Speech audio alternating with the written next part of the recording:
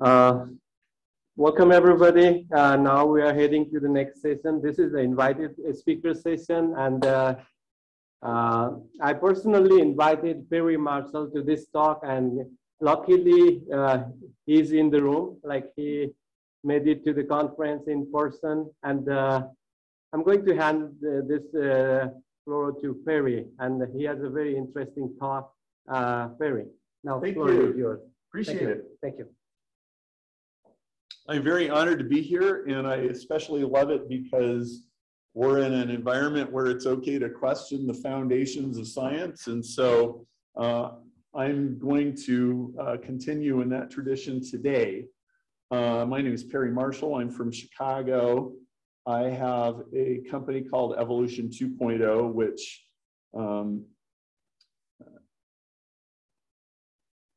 which has a conflict of interest that I need to disclose right away. We have a $10 million prize for the origin of information.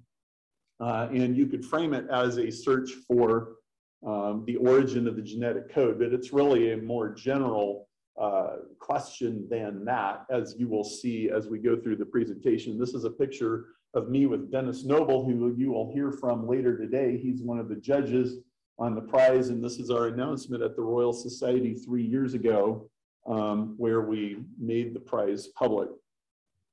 And um, we're looking we're looking for a uh, process that generates code or information from a non-living material without direct human agency.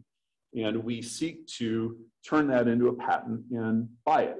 So um, with that, let's get into this. So Science, uh, as any philosopher of science knows, does not prove, it can only infer. Um, but to the but I, I'm going to show you a mathematical proof a little later on, and the only wiggle room in the proof is entropy. And so, to the extent that entropy is a valid concept, it is a proof. Um, and it's a proof that biology has gotten cause and effect backwards 400 years. And the last speaker alluded to this, and it's a very big problem. And it also points the way to a very, very large major discovery, which I believe is as big as E equals mc squared or Newton's laws or anything like that. So in Erwin Schrodinger's book, What is Life, uh, which is now over 75 years old, he described the term negative entropy, which is the force that creates order from disorder. This is one of the great unsolved problems in biology because I believe he was correct, but we don't really know what this thing actually is.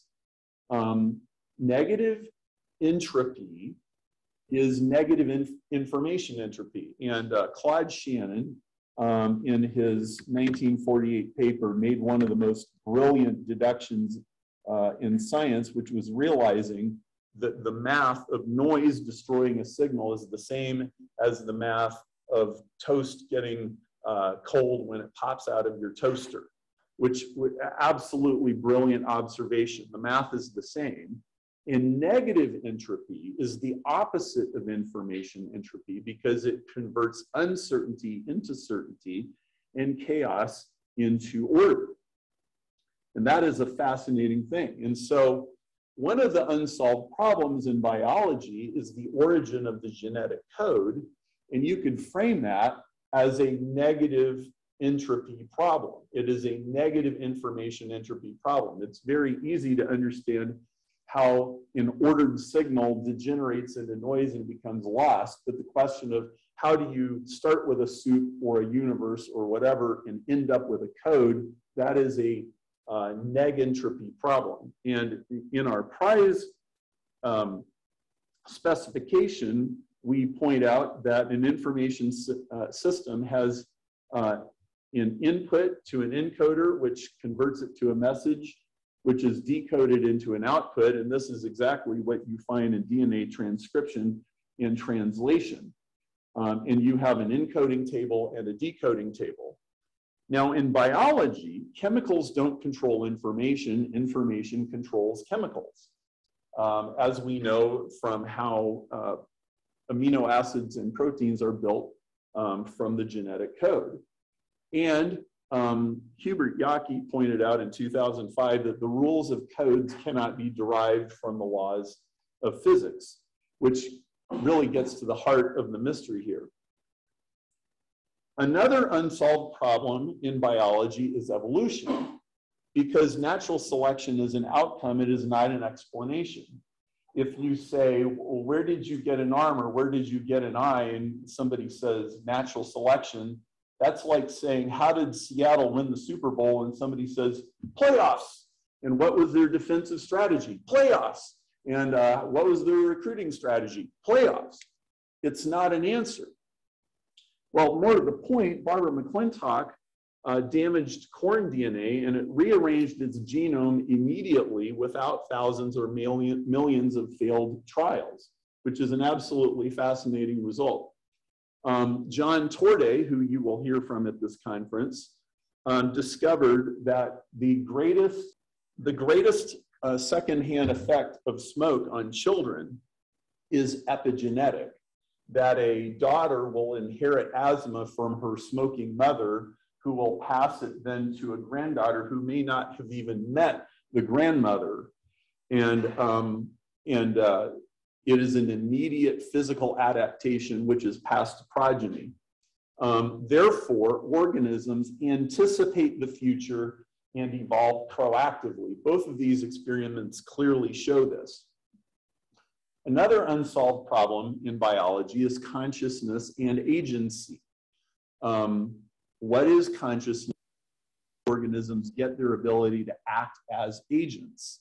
Um, uh, Denis Noble uh, has written about something that Darwin pointed out in 1871, which is that since um, partners choose their mates, then cognition and consciousness is an active part of the evolutionary process.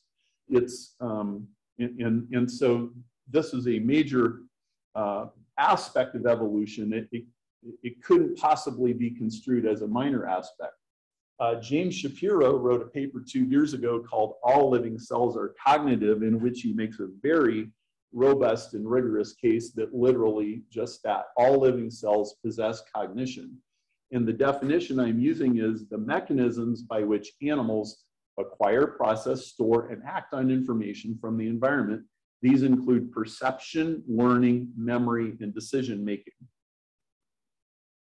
Um, so Barbara McClintock, like I mentioned before, she discovered that act cells actively restructure their genomes, and that is a cognitive process. Epigenetics um, is uh, also a cognitive process. Uh, Henry Heng uh, is a member of our Cancer and Evolution Working Group, and he observes that cancer cells, especially when attacked by chemo and radiation, massively rearrange their genomes in order to evade the effects of the chemotherapy. And that is an active cognitive process. And, um, and, and, if you look through uh, the evolution literature, uh, if you go deep in it, you'll find many examples of new species in weeks or months, not uh, decades or eons. Um, another cognitive aspect of evolution is self or non-self identification in bacteria and cancer, which also is a basis of our immune systems. Your immune system knows what's you and what's not. Uh, back to um, all living cells are cognitive by Shapiro. Um, another definition of cognition by Baluška and Levin. Levin is on this program later in the next day or two. Cognition refers to this total set of mechanisms and processes that underlie information acquisition, storage, processing, and use and use at any level of organization. And cognition manifests agency, which is exclusive to biology. Cronin and Walker pointed out that uh, biology is the only known source of agency in the universe. And um, they also point out that neither physical laws nor random interactions make choices. And Barbara McClintock asked in her Nobel Prize speech, what does a cell know about itself? I think that's one of the most important questions in the history of science. And I think it's only been in the last few years that the scientific world has seemingly turned its attention finally to that question. And then there's the unsolved problem of artificial intelligence, which is that all artificial intelligence is artificial. Any six-year-old can figure out in about three minutes that Siri is as dumb as a box of rocks. And everybody knows it. Uh, general intelligence does not exist in machines, uh, but animals have universal adaptive learning. Um, computers do not. Um, and all genetic algorithms, for example, require goals from humans to be programmed in. And they're not a major tool for software de developers, and they certainly do not rival biology. I believe if we understood biology, could have agency. Well, I would like to call your attention to the proposal that there are three levels of causation in nature. Uh, the bottom level is physico-chemical laws, like the laws of physics and thermodynamics, um, matter, energy, light, heat, fields and waves, weather, stars, planets. And the change over time is order to disorder, which is entropy. Uh, the second level of causation, one up from that, is information or computation, or also logic. And that is symbols, communication, computation, languages, machines, algorithms, and genetics.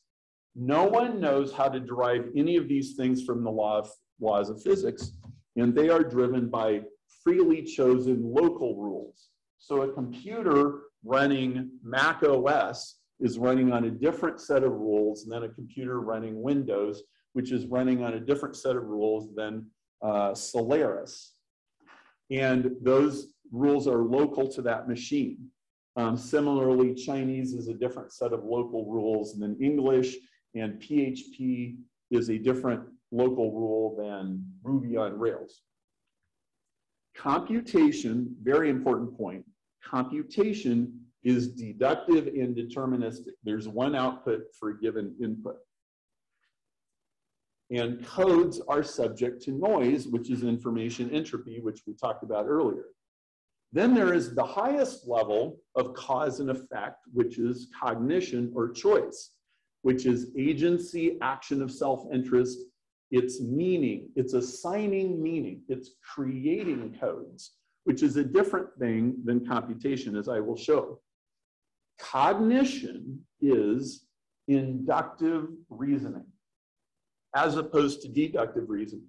All of the other levels that I talked about are all based on deductive reasoning, but this is inductive. So inductive reasoning is the question of the black swan. If you've only seen white swans, are there black swans?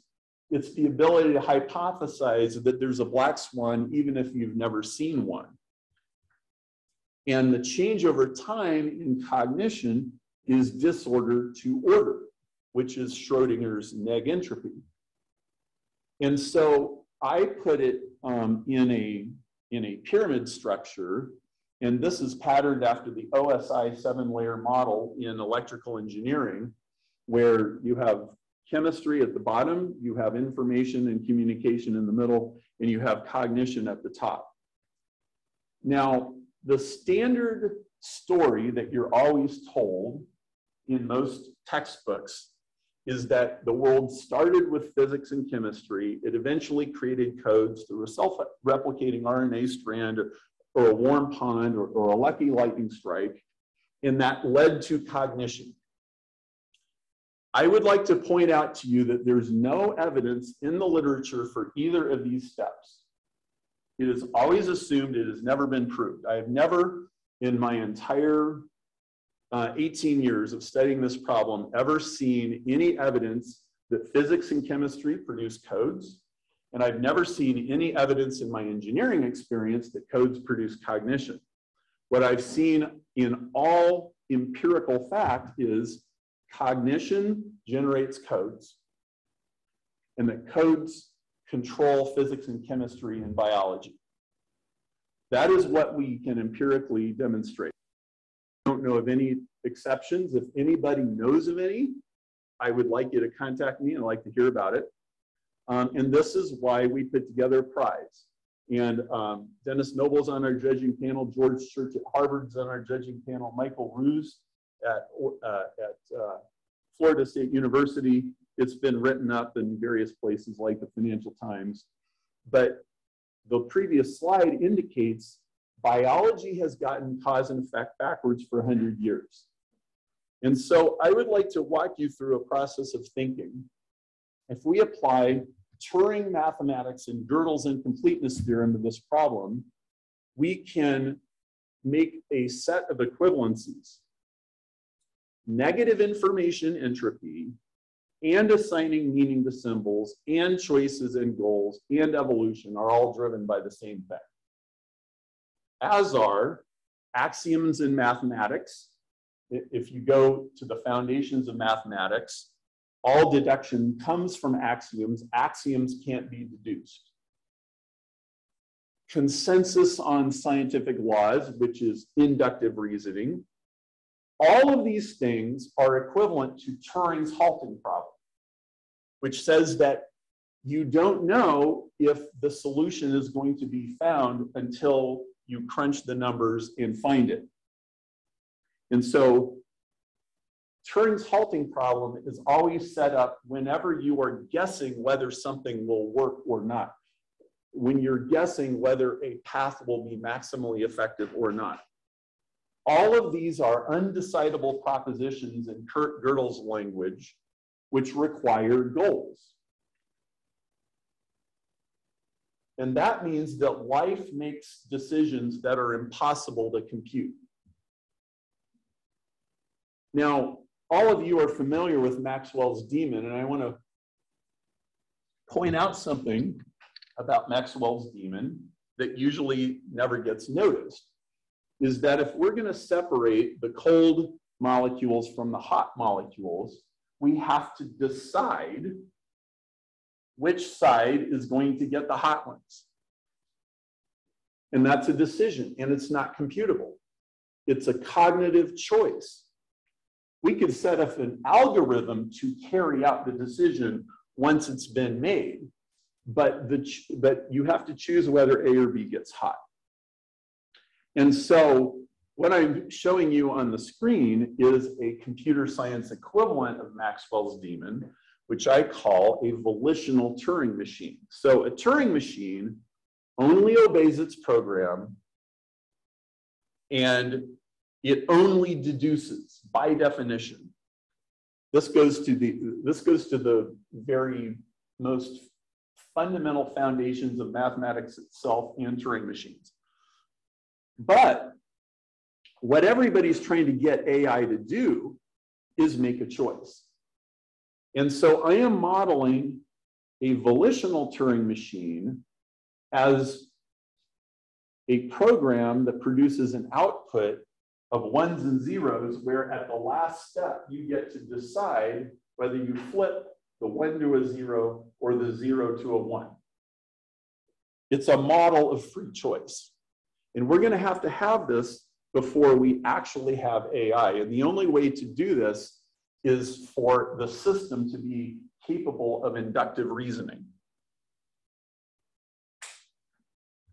Now, um, so neither thermodynamic or information entropy have goals, but neg negative entropy does have goals and it has direction. And so therefore it has teleonomy or teleology or agency, which I'm defining as multiple attempts at the same goal despite unpredictable obstacles. So negative, negative entropy I want to be very clear, is about information. It's not about energy. And neg entropy is measured in bits, just like everything else in communication. So a coin toss, which introduces randomness, is one bit of entropy. But making a choice, like saying, okay, call it in the air, and you say heads, that is one unit of neg entropy because you have decided to assign meaning to a symbol.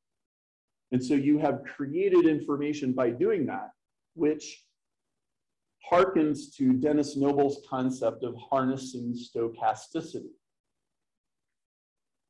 So I'm going to run through a proof very quickly.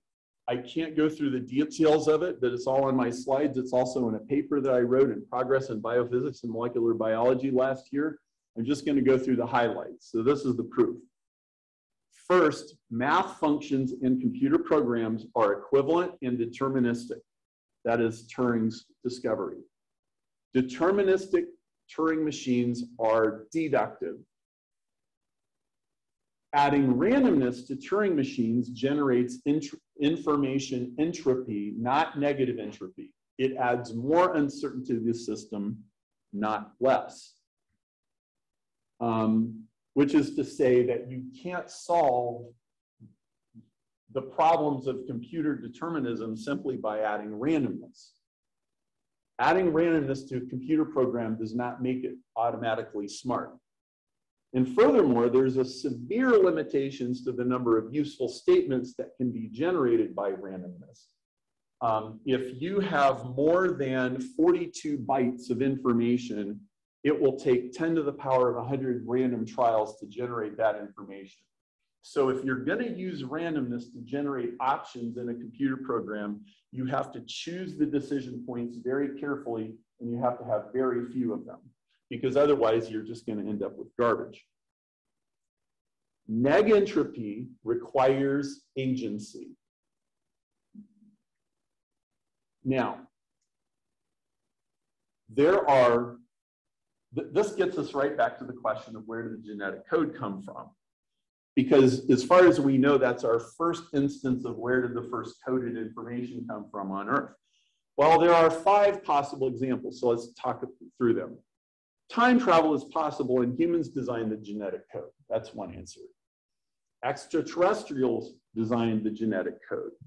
The genetic code emerged randomly and accidentally. There are unknown laws or emergent properties of physics and chemistry, or five, divine intervention. Well, let's take those in turn.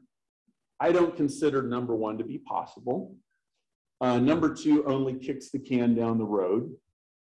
Number three is not a testable hypothesis and it violates information entropy and it does not qualify as science, even though many people seem to be content with that as an answer. Um, I consider five to be possible, but I greatly wish to avoid God of the gaps arguments, um, which I talk about in my book, Evolution 2.0. And furthermore, that the code precedes cognition, which I have already argued is not correct. That leaves us with option four. There are unknown laws or emergent properties of physics and chemistry that produce negative entropy, and we do not know what they are. Um, and I believe that those things are synonymous with cognition and agency. And so, uh, therefore, generating mathematical axioms um, by definition is inductive reasoning and that requires choice. So therefore, all computation is a product of agency, which means life is a product of agency. Um, we know um, biology is the only known source of agency in the universe. I mentioned that. And uh, the agency or negentropy exhibited by life is not matched by computers or any other man-made machines that we know. Therefore, biology is not Turing machines and biology transcends the limits of computation. Now, this is a statistical proof, not a deductive proof because I invoked the law of entropy. But to the extent that entropy is valid, this is a proof. That leads me to the conclusion that evolution is not random events, it is responses to random events. And evolution require, relies on principles of cognition that we do not yet understand. So I believe that cause and effect in biology is cognition first, code second, chemicals third. And um, here's how you falsify the model that I have given you today. Any experiment that demonstrates that chemicals produce codes with no assistance from biology, in other words, you can't cheat. Or any experiment that demonstrates that codes produce cognition. with no assistance from biology will count.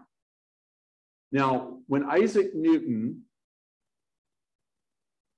had that apple fall out of the tree and bump him on the head, and he had the realization that, hey, that thing that pulls apples out of the trees is the same thing that causes the moon to circle the earth. That was a giant epiphany of connecting two seemingly unrelated things.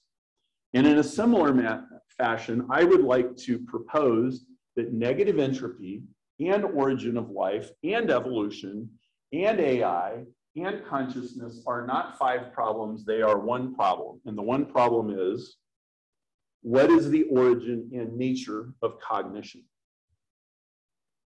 Now, what are the implications of this? It means it's impossible to reduce biology to mathematics. It means that reductionist methods will continue to fail in biology and origin of life and cancer. It says that science itself, by this question, will be forced to be redefined as something beyond fixed laws. And it also suggests that soft sciences like economics and biology are richer than hard sciences like physics and chemistry and electrical engineering. I'm an electrical engineer. It suggests that we are missing laws of physics, and these are not like the prior laws, but they are principles of agency. Um, it implies that your goldfish is smarter than Alexa or Siri, and AI is all A and no I. There is no real AI. And uh, it, it, suggests that, that Ray Kurzweil's singularity is not going to happen until we solve this. And it implies that the search problem is a quest for the next Nikola Tesla or Albert Einstein, and we are looking for that person. And if you know that person, I want to meet him. And my references are on the last slide. So let's take some questions.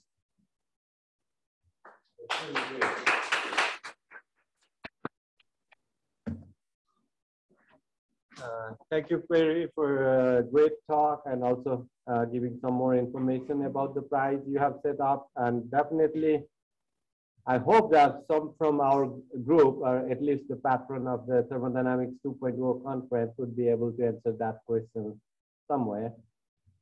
Uh, with that, uh, I would like to open this floor for questions. Uh, please, uh, if you have a question, uh, please speak out, unmute yourself, and speak directly to Terry. Terry, uh, you have. Yeah, yeah. So, uh Perry, I, I really like your talk. I think you're right. You're on to a, a, a, what I would call a deep analysis and and uh, going in the right direction. But I think, and, and I think you see that uh, uh, you can't get here from there. in other words, if you start with the assumption that the world is made of, you know, uh, somehow what the, the particle physicists and so forth would tell us, you're not going to get from there to code, and you're not going to get from code to cognition. It's not going to happen. So, what is a possible thing here? So, and you see, and you do see that agency is crucial. So you might, well, I would say you can, you hopefully will benefit from listening to my talks, but uh, yes. Yeah, what I did is, uh, so I, I uh, started in uh, science, philosophy of science, and I morphed over into philosophy of engineering. and what goes on in that transition is all of a sudden you begin to look at the world uh, through the ideas of engine, through the concepts of engineering. And what that does is it says the ontology of the world is actually cognitive from the beginning.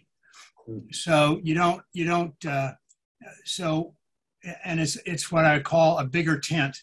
So it's a more general framework. And all the sciences, I think, as you were saying, they need to be fixed, become special cases, become tools for the engineer. And uh, so, anyway, I think you're on the right track, but I think the move you have to make is just to move over to the to an engineering framework, to engineering Pacific. Say, well, how does the world look to in the in terms of engineering and engineering concepts? This applies to thermodynamics, of course, which is what my talk here on today is about. But uh, anyway, I really like your talk. I'll maybe send you a note on some of this stuff, but uh, you're on the right track. Uh, you've you've certainly analyzed the, the problem uh, appropriately. So thank you. Well, Terry, I just want to say, I think in science, the gold standard should not be peer review. It should be engineering. Can you build it and does it work? You know, Feynman said, that which I cannot build, I do not understand. And, um, you know, just because a bunch of journal editors think it sounds good doesn't mean it's true. And I, I think we need to raise our standards. And so philosophy and engineering sounds like we'd have a great beer together. Yeah, I just I just one recommendation for you. Uh, you might take a look at uh, uh, there's a book by Walter Vincenti, who was an engineer out of Stanford, and he has a book called "What Engineers Know and How They Know It." Hmm. And he, he really he goes on and says, you know, the idea that engineering is applied science uh, just doesn't cut it, and um, and so then he has a whole he develops things out of there. Anyway, there's a whole bunch of other references I give you, but you might start with that to get a sense of what the philosophy of the modern philosophy of engineering, where it comes from. There are a lot of people uh, in that uh, game, uh, including myself. Uh, but start, I would say, start with Vincenti, and you'll get a, an idea. Thank you. Well, science is applied in yeah, science is applied engineering, and all engineering it, it not only requires science, but it requires imagination, as your iPhone is very much. I mean, there, there's a lot of imagination and brainstorming and creativity in this device, not just analysis. That, that's the point that Vincenti's making. Yes. I think we, we have a little bit flexibility here. We started our launch time. Uh, if you uh, need to go for the lunch time, feel free to do that. But because there is so many interest in the room, I'm going to take next question. Uh, Anthony, please unmute yourself and ask directly to Perry. Hi, Anthony. Yes, hi. Yeah, I wanted to ask, uh, raise a question. I liked your talk. It was excellent. I think it was uh, very insightful. Um, however, I'd like you to make reference to another Marshall, Alfred Marshall, who wrote The Principles of Economics. And he wrote this in 1890s. And he said that this is in his introduction to his principles. He said that the mecca of economics is not mathematics, but biology. In other words, but we use mathematical terms because that's much simpler to explain problems than biology because of complexity. But he already said that in 1890s when he was introducing economics. And I think this is an issue that has been prevalent in the social sciences because we do use mathematics, but we use it as a statistical methodology, really, because we, we, we, we live in a complex world, not a complex, a complexity. And we try to simplify our complexity. And now recognize that the act of simplifying complexity is that we lose knowledge.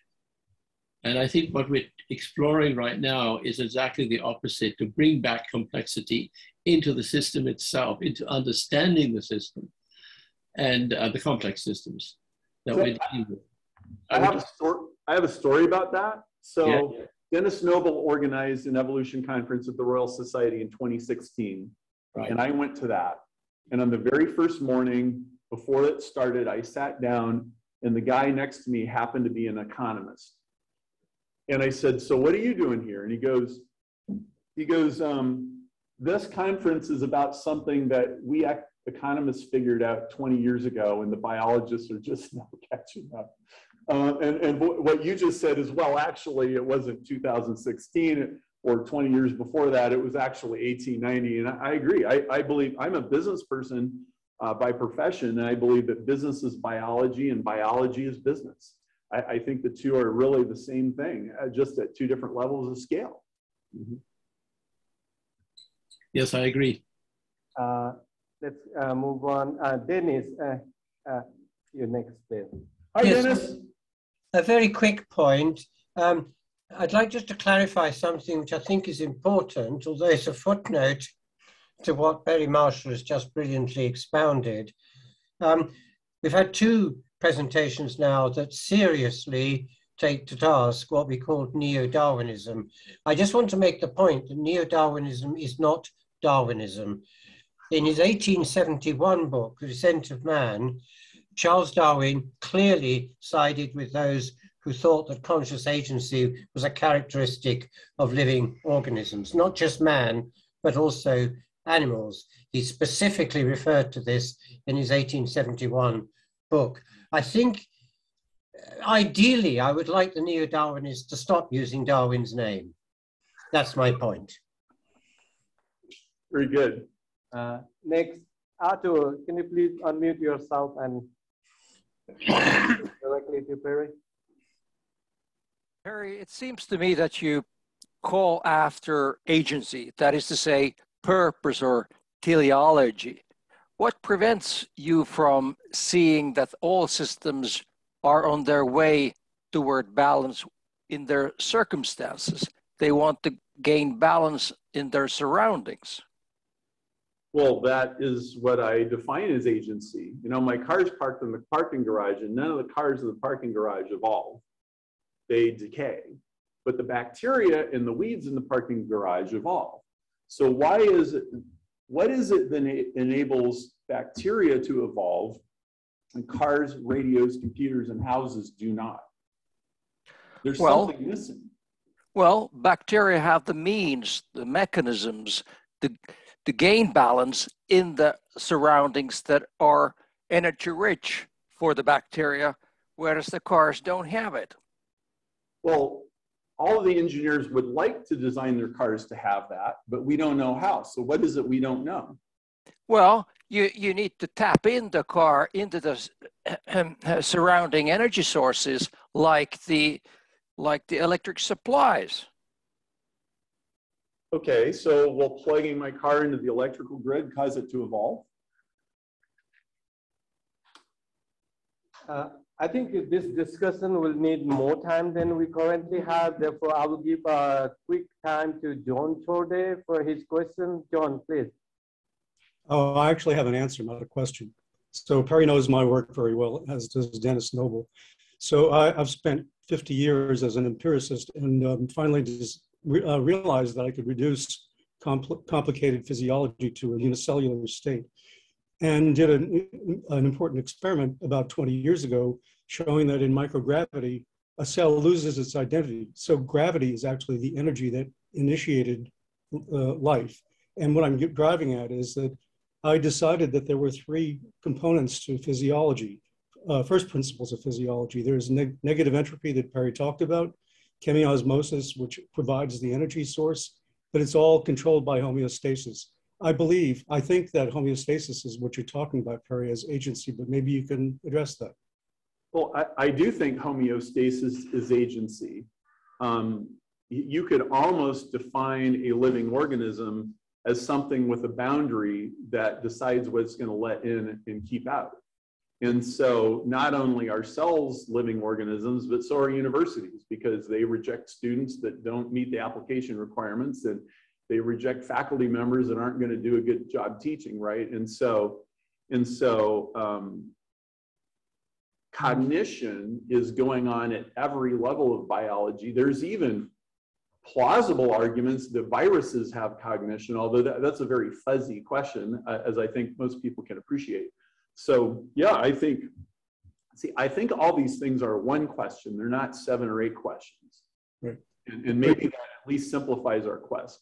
Yeah, but I, I would take to task the idea that a university is the same. It's it's composed of organisms, sure, but it's not servoed to the gravitational effect of the cosmos. Living organisms are. Well, but all of the living organisms that make up the university are subject to gravitation. So if gravitation is a key component of agency or cognition or consciousness, then, um, well, so, I, and I don't know how to respond beyond what you just said because uh, you, you and I have talked many times, and I think your your model is very interesting, and I, I think you should pursue it. And I don't understand it as well as you do. So Just quickly, so the university is a top-down system. It, it's not a self-organizing. It's not a Maturana uh, Varela autopoietic mechanism. That's what you need. Uh, universities could be like that, sure, but they, that's not how they normally behave. Right? Well, that would be a whole very interesting uh, socioeconomics question, wouldn't it? Absolutely. Thank you so much, Torday. And uh, I think it's the time to take a small uh, pause. And after, uh, I think it's a time for a lunch, but let's take a break. And we'll be starting next talk after five minutes.